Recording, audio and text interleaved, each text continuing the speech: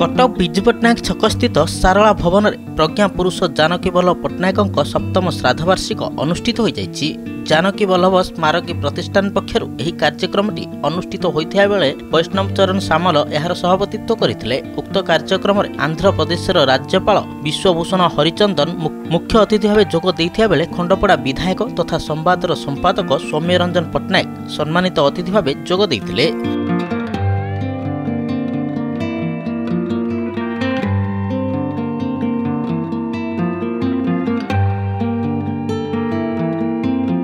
ଯିଏ ପ୍ରତିମୂର୍ତ୍ତି ନ କରୁଛି ସେ ତାର ନିଜ ଗୁଣ ଦେଖାଉଛି ଯିଏ କରୁଛି ତାକୁ ତୁ ନିଜ ଗୁଣ ଦେଖାଅ।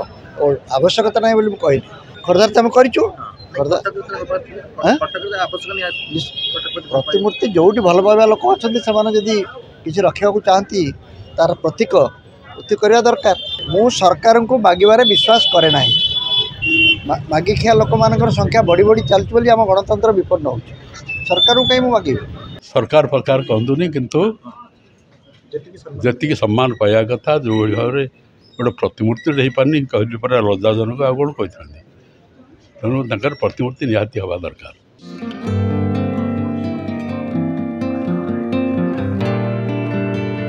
ସେପଟେ ଅନୁଷ୍ଠିତ ଏହି କାର୍ଯ୍ୟକ୍ରମରେ ଅନ୍ୟତମ ଅତିଥି ଭାବେ ବାରବାଟୀ କଟକ ବିଧାୟକ ମହମ୍ମଦ ମୋକିମ ଆଇନଜୀବୀ ଧରଣୀଧର ନାୟକ ପ୍ରମୁଖ ଯୋଗ ଦେଇଥିଲେ। ପ୍ରତିଷ୍ଠାନର ସାଧାରଣ ସମ୍ପାଦକ ଗୋବିନ୍ଦ ଭୂୟାଁ ଅତିଥି ପରିଚୟ ପ୍ରଦାନ କରିଥିବା ବେଳେ ଡକ୍ଟର ପ୍ରଭାକର ସ୍ୱାଇଁ କାର୍ଯ୍ୟକ୍ରମ ପରିଚାଳନା କରିଥିଲେ କାର୍ଯ୍ୟକ୍ରମରେ ମୁଖ୍ୟ ଅତିଥି ଭାବେ ଯୋଗଦେଇ ଆନ୍ଧ୍ରପ୍ରଦେଶ ରାଜ୍ୟପାଳ ବିଶ୍ୱଭୂଷଣ ହରିଚନ୍ଦନ କହିଛନ୍ତି ଯେ ଜାନକୀ ବଲ୍ଲଭ ପଟ୍ଟନାୟକଙ୍କ ପରି ବ୍ୟକ୍ତିତ୍ୱଙ୍କୁ ଯେତିକି ସମ୍ମାନ ମିଳିବା କଥା ତାହା ଏଯାଏଁ ମିଳିପାରିନାହିଁ ସେହିପରି ସମ୍ମାନିତ ଅତିଥି ଭାବେ ଯୋଗଦେଇ ଖଣ୍ଡପଡ଼ା ବିଧାୟକ ତଥା ସମ୍ବାଦର ସମ୍ପାଦକ ସୌମ୍ୟରଞ୍ଜନ ପଟ୍ଟନାୟକ କହିଛନ୍ତି ଯେ କଟକରେ ଜାନକୀ ବଲ୍ଲଭ ପଟ୍ଟନାୟକଙ୍କ ପ୍ରତିମୂର୍ତ୍ତି ସ୍ଥାପନ ପାଇଁ ରାଜ୍ୟ ସରକାରଙ୍କୁ ଅ- ଅନୁରୋଧ କାହିଁକି କରିବୁ ସରକାର ଯାହା ବିଚାର କରିବେ କଟକରୁ କ୍ୟାମେରାମ୍ୟାନ୍ ଚିତ୍ତରଞ୍ଜନ ମହାନ୍ତିଙ୍କ ସହ ଶିଳ୍ପା ପ୍ରିୟଦର୍ଶିନୀଙ୍କ ରିପୋର୍ଟ ସମ୍ବାଦ ଡିଜିଟାଲ।